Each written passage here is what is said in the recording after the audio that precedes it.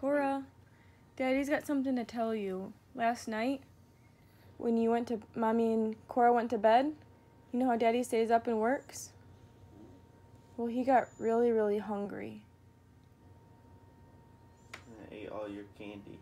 He ate all of your Halloween candy. No. Sure, Daddy. Is that okay? Here, baby. I'm sorry.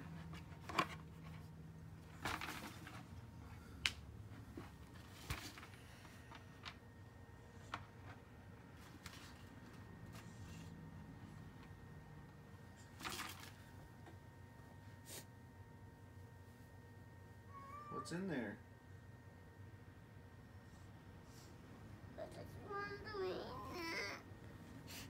It's all gone.